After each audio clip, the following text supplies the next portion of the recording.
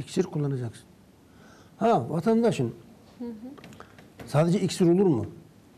Olur. Ama bağırsağında sorun yoksa, midesinde sorun yoksa, kalp damar rahatsızlığı durup dururken olmuyor. Birçok insanın bağırsağında mantar var. Faydalı bakteriler azalmış, mantarlar zehirli gazlar, zehirli alkoller üretiyor. O zaman ne yapmak gerekir? Bağırsakların tedavisi gerekir.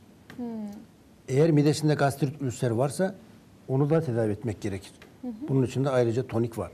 Yani midesinde problem varsa tonik de gerekir. Bağırsağında sorun varsa aloe vera jel de gerekir.